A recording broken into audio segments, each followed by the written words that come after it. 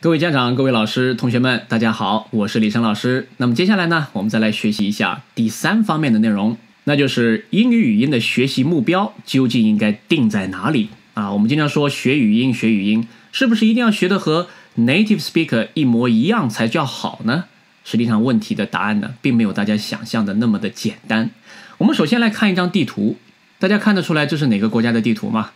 哎，这是英国，那 the United Kingdom。The UK，在这张地图当中呢，我们有一些虚线画出来的区域，还有一些实线画出来的区域。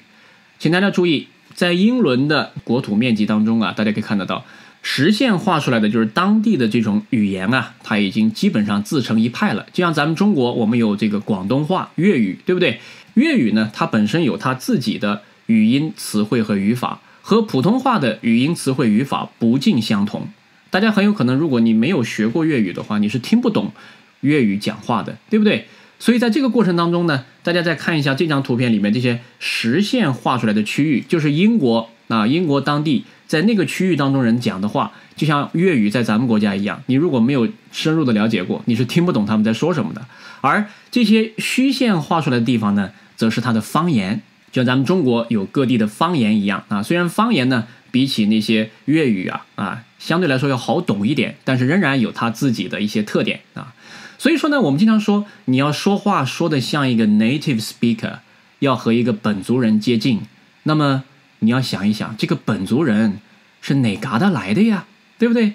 比如说英国啊，这么多区域，它到底是画实线区域来的，还是画虚线区域来的，还是不画线的区域来的？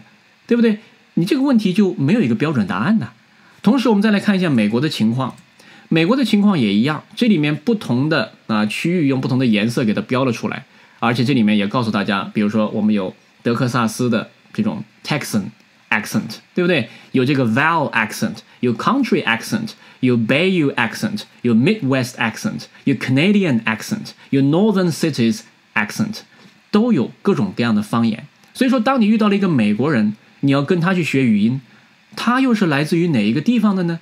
他的这种方言能够代表我们所谓的美国式发音吗？这一点也要打上一个大大的问号。就好比说我自己啊，虽然我是一个普通话还可以的人，但是呢，大家如果仔细听，仍然能听得出来我有口音的。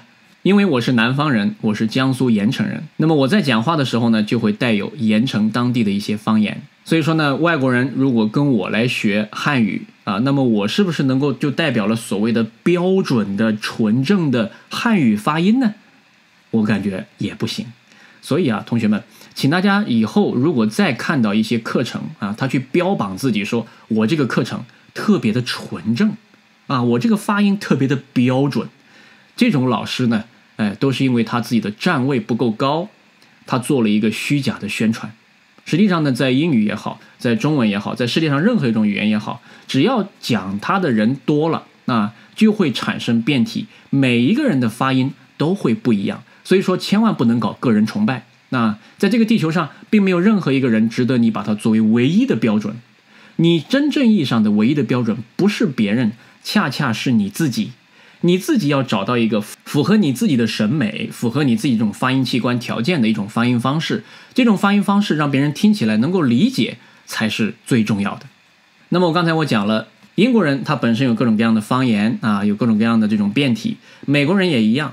那么这个时候呢，我们再来去看这个问题的时候，比如说我到底是学英国音啊，还是学美国音啊？你就会发现这个问题本身实际上就已经站不住脚了。我再进一步的和大家剖析一下哈。实际上呢，如前所述啊，我们说纯正的、标准的、地道的这种英国音或者美国音呢，纯属虚假宣传。每个人都有口音，无一例外。所谓学英音或者美音啊，如果说从学习的角度上来讲的话，我们要找到一个学习的对象的话，倒也是可以的。那就是英音，我们把它叫做 RP，叫做 Received Pronunciation。就是英国的上流社会贵族阶级，他们在之间进行交际的时候所说的那种语音，叫做 received pronunciation。这里的 receive 表示可以接受的。那什么样人接受呢？就是贵族阶级之间互相能够接受得了啊，吸纳你。哎，你说你的英语说成这样，你一定也是个贵族啊，received，对不对？这种感觉哈。那么美国它作为一个多个民族的大熔炉，所以说呢，美国人之间一种通用的美国口音呢，叫做 General American English，叫做 GA 啊，General American。所以说呢，如果说你要学英音或者美音的话，当然有一些教材它就是基于 RP 或者基于 GA 来编写的，这种东西你是可以学的。但是呢，在真实的语境当中，你能够遇得到来讲一口纯正的啊标准的啊这种地道的 RP 或者 GA 的人来呢，是非常非常困难的。就算是 BBC 和 VOA，它都不能讲它的播音员讲的是纯正的 RP 或者 GA。大家能够接触到的教材和影视资料当中的发音人呢，实际上都带有他个人的特色。所以啊，到底是学英国音也好，还是美国音也好呢？它根本就不是一个学术的选择题。因为从学术上来讲呢，这两种发音它是同一个语言的变体，它之间的相似性要远远大于它们之间的特异性，不存在学了其中一种就必须要排斥另外一种的道理啊！我学了英国音。我就美音，我就我就看不起他啊！学了美音，我就看不起英音，这种呢，实际上都是没有任何道理的。实际上，British English 或者 American English，它都是 English，大家能理解吧？那么前面的这个 British 和 American 只不过是一个限定词罢了，是一个定语，对不对？它本身都是一样的东西啊！而且在更多的情况下呢，就像我刚才说的，很多人学了美音就觉得英音不好。啊，学了英音就觉得美音不好，我不喜欢，所以说喜不喜欢也就让这个问题的本质给它暴露了出来。所以说学英国音也好，还是学美国音，它是一个情感方面的一个选择题，而不是一个学术的选择题。学习者如果更加喜欢哪一种发音呢，则更加有可能为了掌握这种变体而做出努力。那么好了，如果大家一定要以某一种变体为努力的目标呢，那么希望大家在听。在看一些视听资料的时候呢，就要多多的去涉猎这样的一个变体。那这里面就提到了一种具体的操练方式，这一点呢，我一会儿会和大家讲。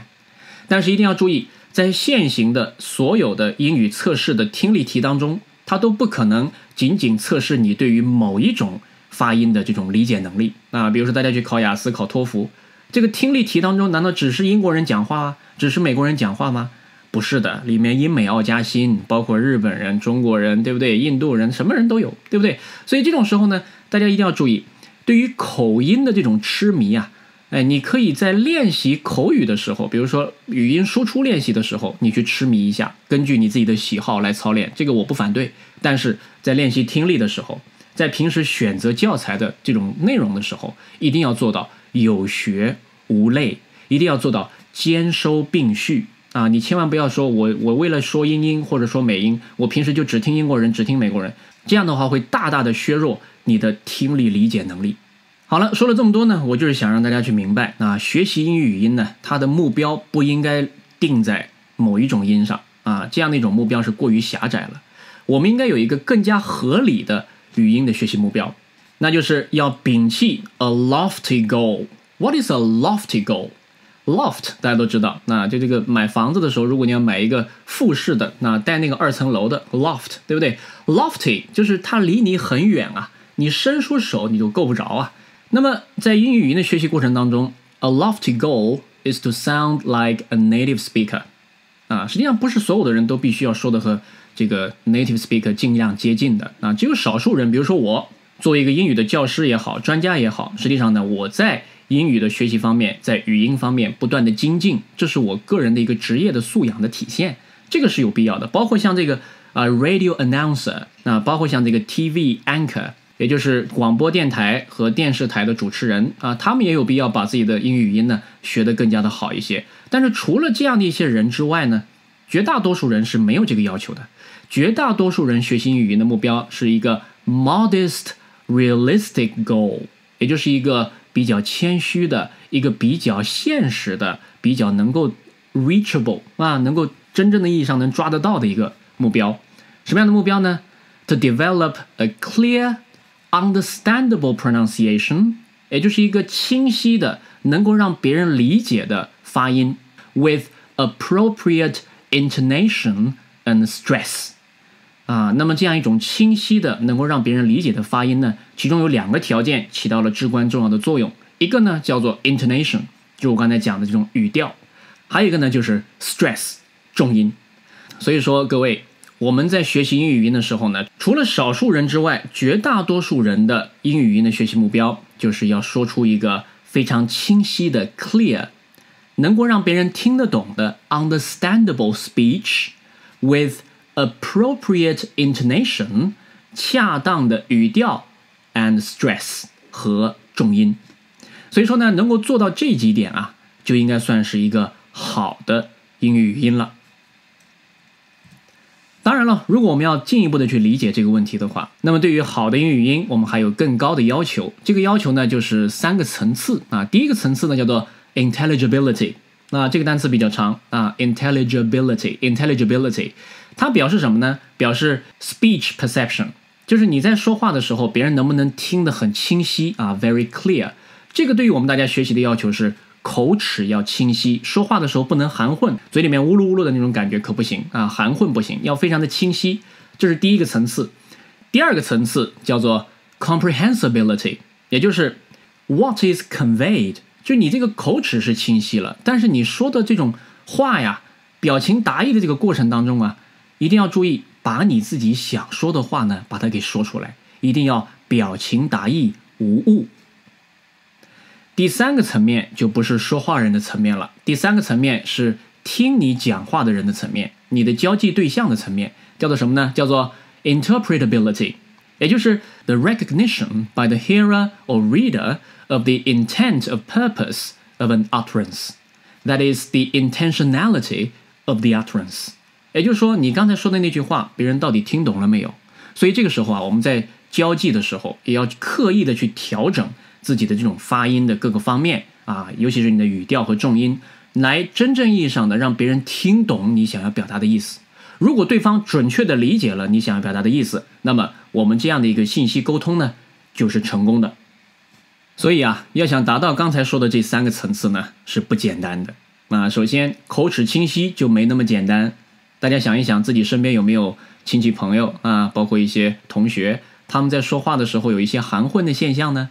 如果有这种现象，那么大家就要去练习口部操，那就是你的唇齿舌要锻炼，要让他们为你所用，这是第一点。第二，comprehensibility 这一块儿，你要学会在说话的时候要以 interpretability 为目标去说，你的音律调都要准确啊。要练习的内容呢还是非常多的。单看音这一块儿，就不仅仅是它的长体发音。什么叫长体发音？大家可能学过二十个元音。二十四个辅音的发音方法，那些呢，实际上它是它正常的状态。除了正常的状态之外呢，还有变体发音啊，就是它在不同的情况下，这些音呢，它会发生改变，以及这些音本身的长度也会发生改变。我们经常说的一个例子呢，就是这个“绵羊”这个单词。绵羊这个单词，很多人会拉着这个长调，拖着长音去读，把念成 sheep，sheep，这实际上就错了，应该念成 sheep，sheep。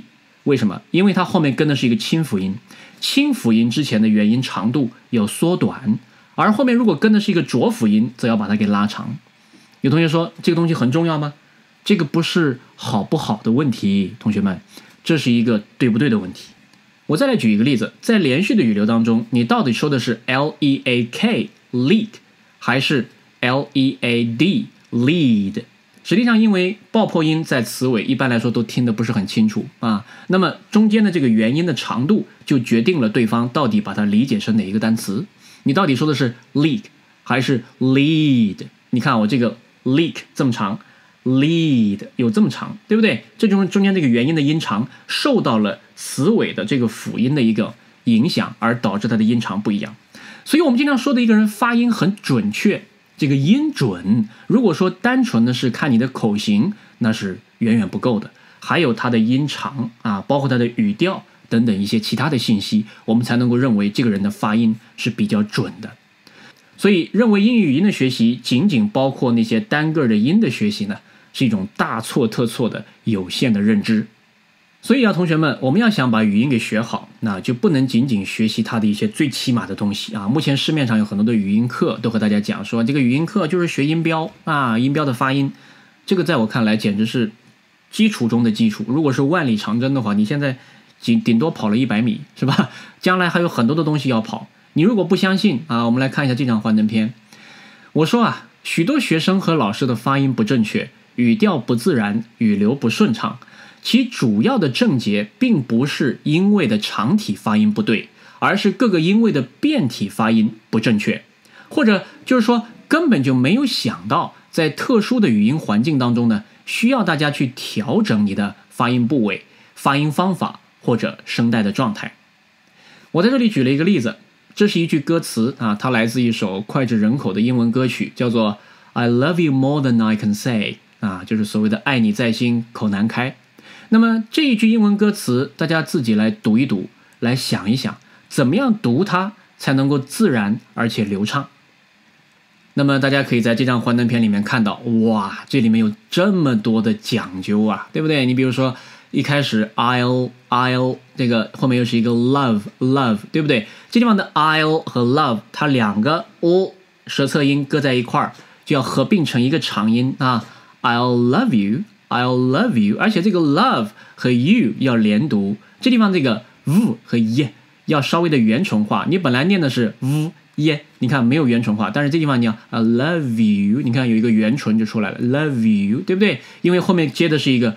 呜的音，对不对？所以下面还有很多其他的一些要领，我就不去一个一个的给大家念了。但是大家要明白，你这些东西如果都做到位了，这一句歌词才能够像我们的原声当中唱的这样，既流畅又自然。我们来欣赏一下。